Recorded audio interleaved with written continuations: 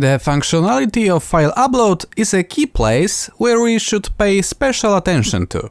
If the attacker successfully sends and executes a malicious file, the whole server may be taken over. In today's episode of From Zero to Pentesting Hero, I am going to show you what kind of files we should be given a special attention.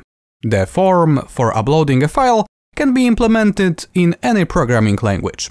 I will use here the code from the official Flask documentation. Let me describe briefly what the given code does.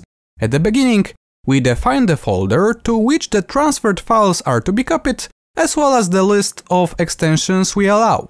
The allowed file function is responsible for checking if the sent file is on the list of allowed extensions. Then we have the function upload file responsible for saving the correct file in the appropriate directory. At the end, the uploaded file function displays the file specified in the parameter.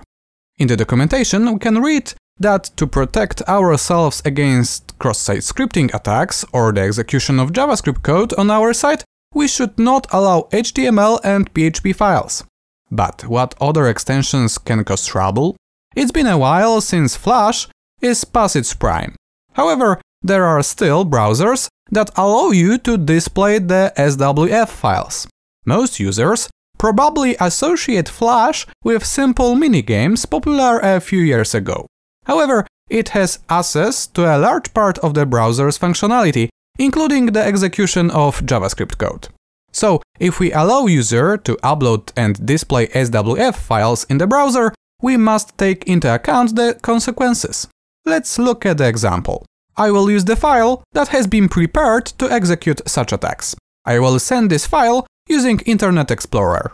As you can see, after sending the file, a window appeared. By modifying the parameter in the link, we can display our own code. For example, using the eval parameter.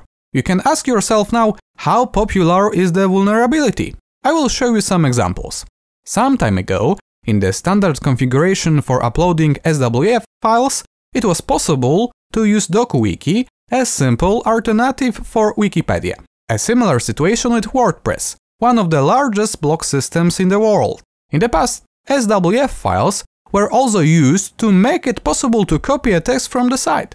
In the past, browsers did not have this feature built in natively. So on many websites, in the depths of forgotten files on the server, you can find some SWF files. Here is an example of a list of components that have been in the past or are still vulnerable to this type of attack. The second, less common extension is SVG.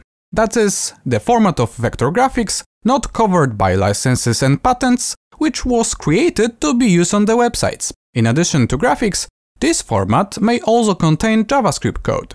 An article about this subject has been published, among others, by Sekurak. On this site, you can find a prepared file that you can use. This time, the message will be displayed in the latest version of Google Chrome. And that's it for today. What other formats, according to you, are still dangerous under specific conditions? Let me know in the comment. If you like this material, leave the thumb up and subscribe to this channel. See you next time. Bye!